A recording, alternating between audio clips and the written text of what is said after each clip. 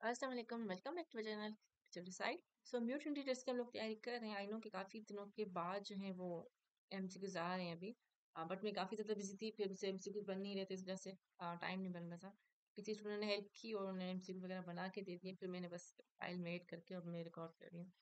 ताकि थोड़ा सा टाइम बच जाए और जल्दी से क्योंकि रिकॉर्ड करना उतना मसला नहीं होता बाकी सेटिंग करना और रिसर्च करना सारा मसला होता है। तो चलें अब शुरू करते हैं। टू थाउज़ेंड ट्वेंटी टू के एम सी क्यूज़ हैं फिजिक्स के एम सी क्यूज़ अच्छा सबसे पहले जो मोस्ट इंपॉर्टेंट बातें कुछ प्लेलिस्ट जो हैं वो मौजूद है चैनल पे। अभी टू सिक्सटीन यहाँ पे लिखा हुआ है टू एटीन की भी मौजूद है वहाँ पे। और टू ट्वेंटी फोर की हम लोग इसमें सारी की सारी ऐड होंगी है कि जो भी अभी नेक्स्ट क्लास पर आएँगे सारी की सारी वीडियो इसमें भी अपलोड होंगी। और टू थाउज़ेंड ट्वेंटी थ्री के एम सी लास्ट के जो थे हमने वो अपलोड किए थे। और एंटी टेस्ट की आ, ये वाली जो था ये मेरा केस पेपर था। तो उसमें से भी काफ़ी एमसीक्यूज आए थे। सो इन केस अगर आपने जो है वो ये वीडियो नहीं देखी है तो आप इनको अच्छे से देखें प्रॉपरली आपको आंसर आने चाहिए। हाँ कहाँ कहाँ कहीं कहीं पे गलतियाँ हैं किसी ऑप्शन में। सो so, वो बिल्कुल मेरी गलती है लेकिन आप लोग जो है उसको कमेंट्स में देख लीजिएगा क्योंकि काफ़ी बच्चों ने जो है वो करेक्ट आंसर बताया हुआ है। और मैंने उनको बोला भी हुआ है कि थैंक्स फॉर करेक्शन पर इस तरीके से यहाँ पे कहीं पे वाकई में उनकी आंसर गलत है वो मेरा सही है तो भी बताया हुआ होगा। सो आप वो चीज़ें भी देख लिया करें सिर्फ़ वीडियो पे नहीं देखा करें क्योंकि इंसान है गलती हो सकती है ठीक है?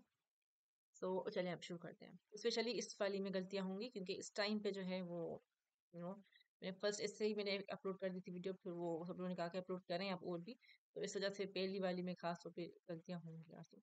है चलिए अब शुरू करते हैं। इनके लिंक डिस्क्रिप्शन में मौजूद होते हैं। आपके पास नहीं मिले तो भी प्लेलिस्ट वगैरह में मौजूद होते हैं। आप जाके देख सकते चैनल पे। नहीं तो कमेंट करके पूछ ले मैं दे दूँगी लिंक अच्छा व्हाट्सएप का ग्रुप भी है हमारा।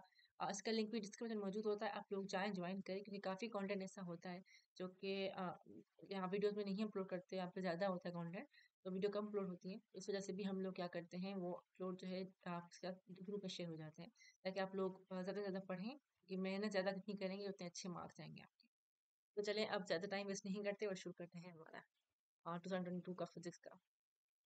Dimension of acceleration due to gravity is dash right answer is L divide by T power two यानी कि लेंथ पर टाइम स्क्वायर ये जो है एक्सलेशन की वो है डायमेंशन है ड्यू टू ग्रेविटी की वजह से।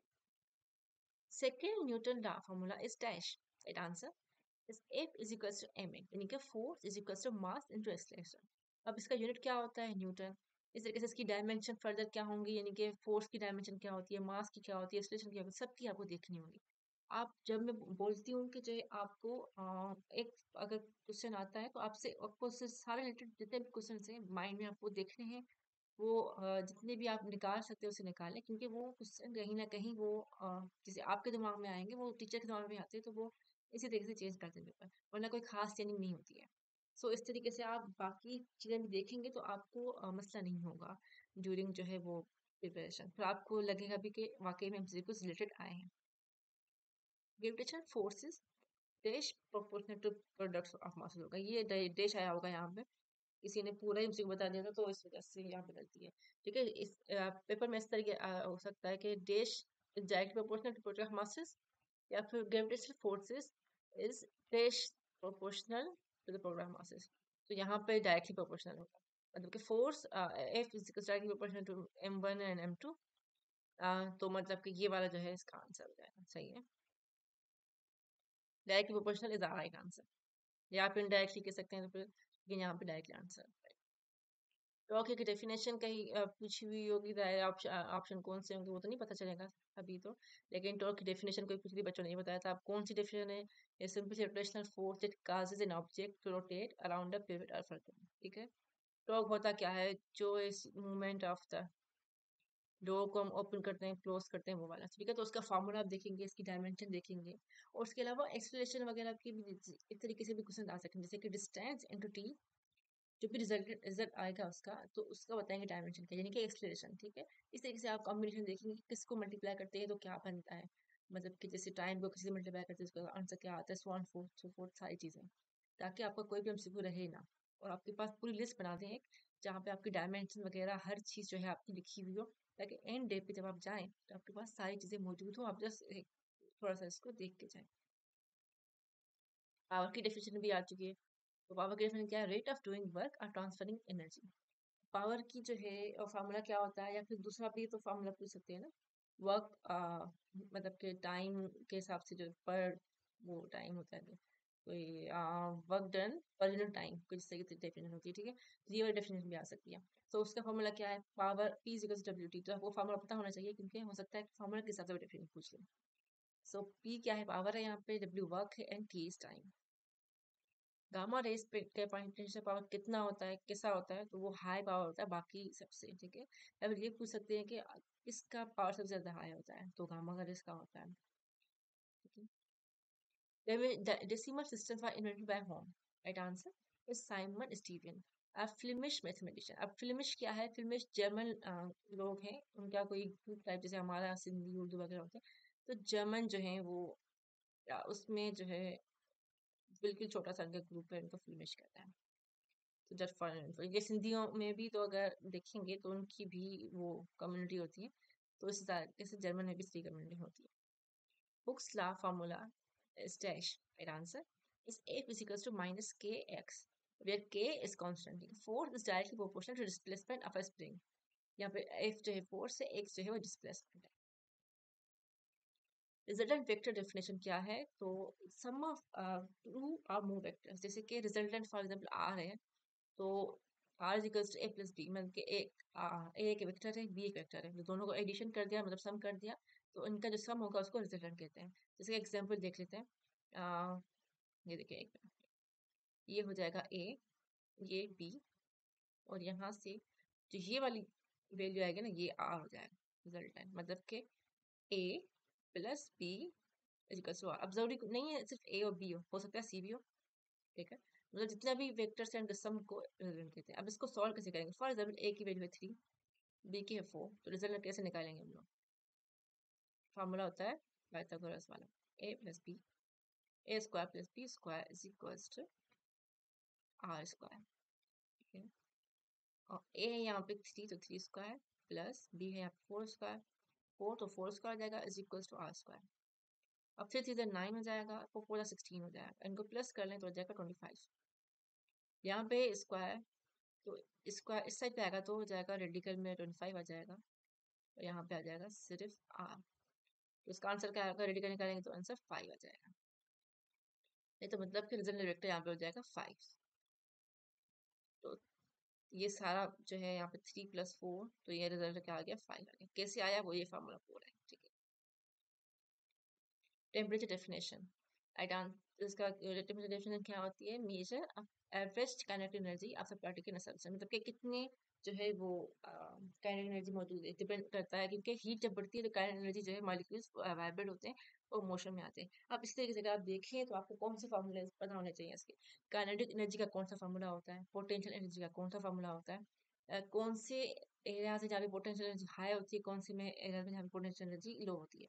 जैसे फॉर एग्जांपल स्प्रिंग का मोशन जैसे हमारा सिंपल हार्मोनिक मोशन वाला होता है तो इसमें यहाँ पे जो ऐसे स्प्रिंग हो रहा होता है, उस टाइम पे करंट एनर्जी कितनी होती है और पोटेंशियल एनर्जी कितनी होती है उसी तरीके से जब यहाँ एंड वाले मैक्सिमम में जाते हैं जब तो कितनी पोटेंशियल एनर्जी होती है उनमें, ये वाली चीज़ एक हो जाएगी। इसके अलावा जब हाइट पे होता है तो करंट एनर्जी कितनी होती है पोटेंशियल एनर्जी कितनी होती है, और जब नीचे आ रहा होता है तो कितनी होती है, जबकि ड्यूरिंग दिस प्रोसेस तो बॉल हो, ऊपर से नीचे आ रहा तो क्या होगी करंट एनर्जी और पोटेंशियल एनर्जी और फिर रीच करेगा ग्राउंड पे तो क्या होगी? तो आपको ये सारी चीज़ें पता होनी चाहिए। जहाँ से एमसीक्यू निकल सकते हैं, वो अपने माइंड से निकालें और नोट डाउन करते जाएँ और उनके आंसर आपको आने चाहिए। लाइक चार्जेस रिपेयर लिखा जाता है। So yes this is true और कभी कभार एमसीक्यू इस तरीके से आते हैं कि ट्रू और फॉल्स वाले तो इस तरीके आ सकते हैं, ठीक है? तो लाइक चार्जेस या फिर ऐसे आ सकता है कि डेश चार्जेस रिपेयर लिखा जाता है तो लाइक चार्जेस ठीक है? या फिर लाइक चार्जेस डेश जाता है तो रिपेयर लिखा जाता है।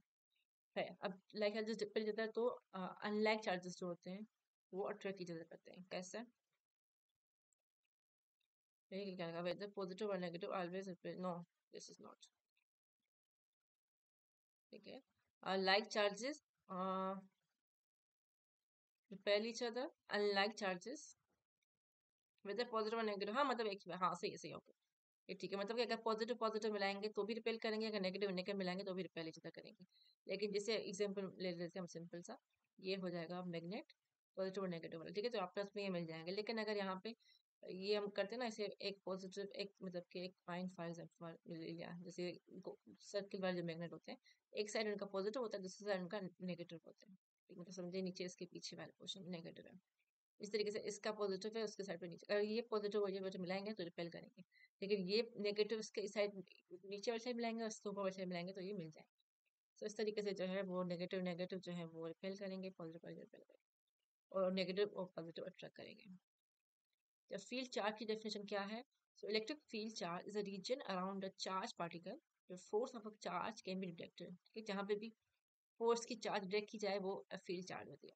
अब इसके बहुत सारे फार्मूला हो सकता है कि इसका कोई फार्मूला के हिसाब से कोई निकाल के दे दें चीज़ें इसकी कोई दूसरी एरिया का दिखा दें तो आपको पता होना चाहिए। हो सकता है कोई डायग्राम दिखा दें तो उससे पूछे। तो मतलब कि आपको कोई भी आंसर जो भी आता है, जैसे कि कोई यूनिट पूछे एम्पियर का कौन सा यूनिट होता है? और आपका रेजिस्टेंस का रेजिस्टर का कौन सा होता है, सारा आपको पता होना चाहिए चीज़ें भी fluorescence fluorescent light produces which waves right answer है electromagnetic waves specially visible light जो है वो फ्लोरेंट होती हैं तो इलेक्ट्रोमैग्नेटिक वेव्स जो है वो प्रोड्यूस करती हैं। Rocket fired is called dash. It answer is a projectile. Projectile motion कौन सा होता है? यहाँ पे जैसे फॉर एग्ज़ाम्पल सीधे सीधा ये है। और जहाँ पे कोई भी चीज़ इस तरीके से जाके, एक जगह से दूसरी जगह पे अब रॉकेट है, ठीक है? एक ग्राउंड से दूसरी ग्राउंड पे जब हम पहुँचता है रॉकेट तो जो है उसको रॉकेट फायर प्रोजेक्टल मोशन होता है इसका। जैसे कि एक कंट्री से दूसरी कंट्री तक चल जाता है रॉकेट जैसे। तो एक के ग्राउंड से दूसरे के ग्राउंड में जाता है। तो मतलब कि पूरा सर्किल वो क्रॉस करके हाफ़ सर्किल कह सकते हैं वो कंप्लीट करके पहुँचता है, जिसके लिए इसको प्रोजेक्टाइल मोशन कहते हैं। What is the purpose of galvanometer अच्छा ये वाला क्वेश्चन जो है लास्ट टाइम भी आ चुका है। सो आप लोगों को पता होना चाहिए ये इनका क्या आंसर ट्वेंटी थ्री में भी आ चुका है अभी ट्वेंटी टू का पेपर है। तो मतलब तकरीबन हर साल ही आता है ये क्वेश्चन तो मेजर स्मॉल इलेक्ट्रिक करंट्स जब वोल्ट मीटर वगैरह भी आई थिंक होते हैं तो उनके भी थोड़ा पता है। वैसे उनका इनकी को आता नहीं कभी लेकिन फिर भी डिफरेंस कभी पूछ सकता है वोल्ट मीटर और जो है वो गैल्वेनोमीटर का डिफरेंस इस तरीके से कुछ क्वेश्चन पूछ सकते हैं। What is the speed of vacuum in a uh, speed of light in a vacuum according to? इसका राइट आंसर क्या है? C is equal to ninety nine seven ninety two four fifty अब ये बहुत बड़ी वैल्यू है paper में इस तरीके की नहीं देते हैं वैसे। लेकिन फिर भी एग्जैक्ट वैल्यू के लिए मैंने आपको यहाँ पे बता दिया। पेपर में इस तरह के ऑप्शन आते हैं। Three two ten power eight या फिर ऐसे कर सकते हैं, ज़्यादा ज़्यादा कन्फ्यूज़ करने के लिए टू पॉइंट नाइन नाइन ठीक है? तो ये भी अगर आ जाता है two point nine nine two ten power eight पे अगर बोलते हैं तो भी ओके तो मोस्टली ऑप्शन ये आते हैं। अच्छा ये भी लास्ट ईयर आ चुका है I think pressure is constant in system right answer is isobaric system और आई थिंक ये भी मतलब काफ़ी क्वेश्चन ऐसे हैं जो कि रिपीट होते हैं बार बार रिपीट होते हैं। सो इट्स बेटर कि आप लोग जो है पास पेपर अच्छे से करके जाए, ताकि आपकी मेजोरिटी क्वेश्चन जो है वैसे ही हो जाए। So that's it for this video इसके सेवेंटी एम सी क्यूज इसके। बाकी इंशाल्लाह केमिस्ट्री के इंग्लिश के मैथ के जितने भी मिले तो वो देख लेंगे। अगली वीडियो पर इंशाल्लाह वो शेयर करेंगे। तब तक के लिए दुआ में खास देखें टेक केयर हाफिज़।